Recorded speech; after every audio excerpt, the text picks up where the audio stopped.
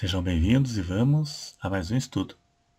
O que impede de você prosperar, de ter uma condição financeira abastada? Prosperidade na Bíblia é uma promessa para todos ou apenas para algumas pessoas? Porque alguns crentes prosperam e outros não? Vamos ver o que diz a Bíblia. Se a prosperidade é uma bênção de Deus, por que será que nem todos recebem esta bênção? Vamos ver alguns motivos que podem ser a causa de você não prosperar. Israel, no tempo da lei, a bênção de Deus era a base da obediência. A obediência levava a pessoa a ser abençoado e a maldição era motivo da desobediência. Israel tinha parado de dar o dízimo e por isso a chuva não caía de forma correta para serem abençoados com boas colheitas.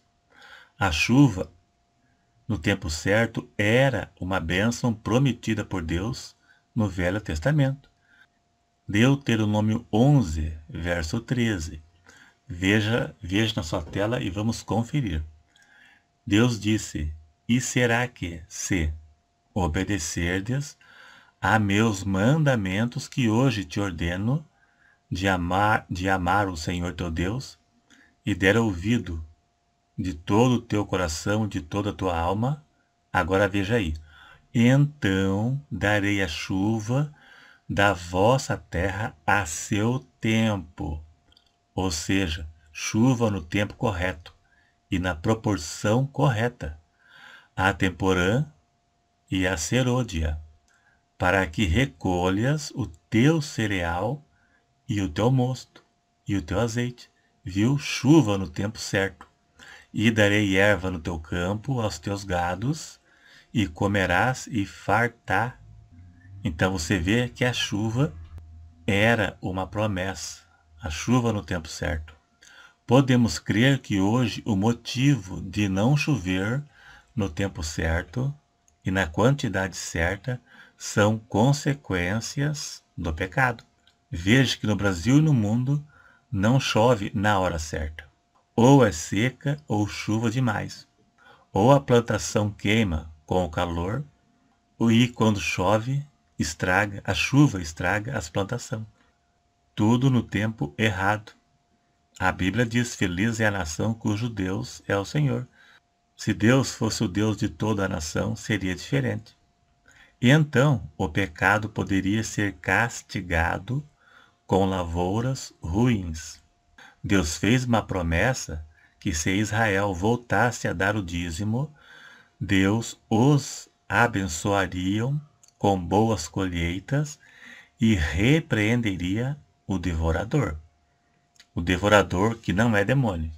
O devorador é praga de lavoura, é gafanhoto mesmo, gafanhotos literalmente que devoravam lavouras, gafanhoto devorador.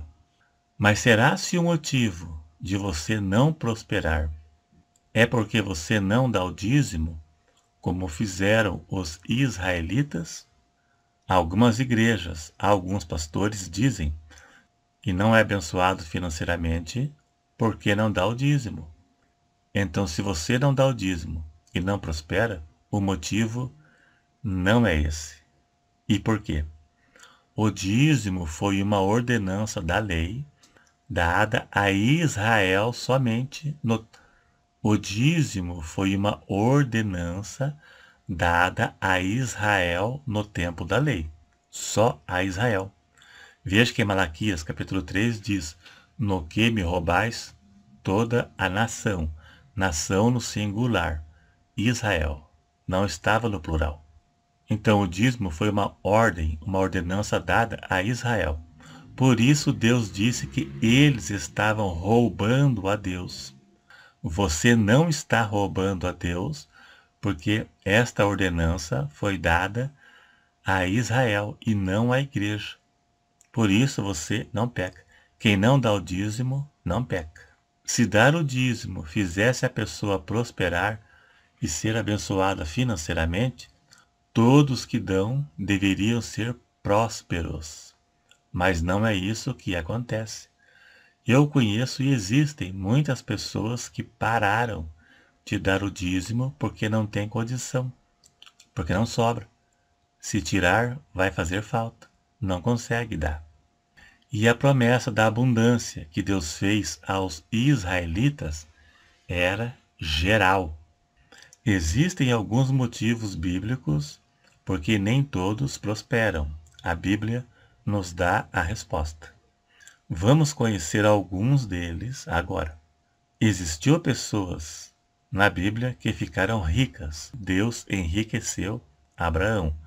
Abraão não vivia da obra de Deus, ele vivia do seu trabalho. Como também existiram pessoas que sabiam que não iam enriquecer, como os discípulos de Jesus, por exemplo.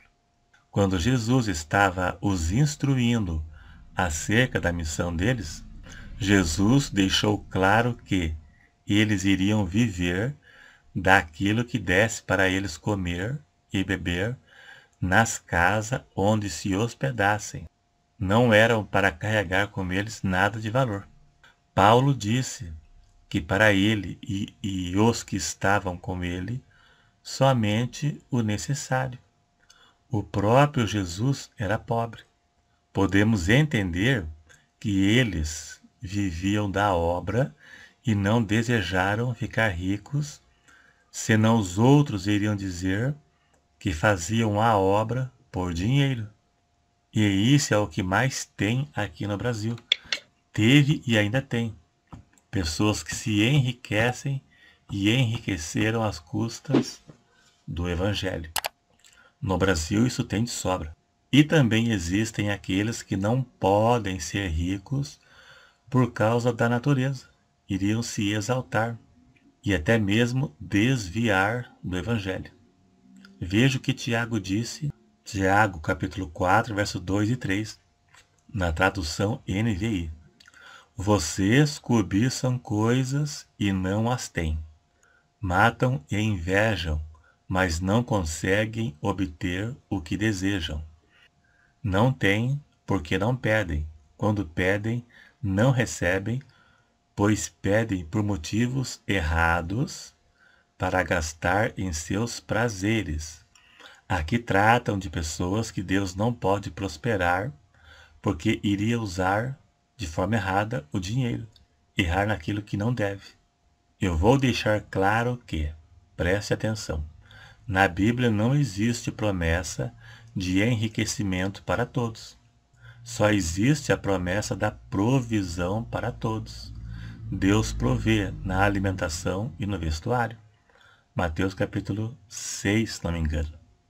Que não é para andar preocupado com o dia, do que é a vez de comer ou do que é a vez de vestir. Fazer campanha da prosperidade, como algumas igrejas fazem, na esperança de ficar rico ou alcançar bens materiais, é uma furada. Isso pode não dar em nada, pode acabar em frustração. Se não estiver nos planos de Deus te dar bens materiais, ele não dará. Se tiver, ele fará a seu tempo. Não é errado pedir uma casa própria, um carrinho para andar por aí, né? Para... Mas pedir muito, muitas coisas, dependendo do que, ele não vai dar. Não vai dar para certas pessoas, até porque, devido ao mau uso, ou até mesmo podendo se extraviar da igreja, sair fora. Deus conhece o coração de cada pessoa. Não só o coração, como o futuro de cada pessoa. Então ele sabe como agir na vida de cada pessoa. Então é isso aí, dá um joinha se gostou. Se não é inscrito, se inscreva e até o próximo.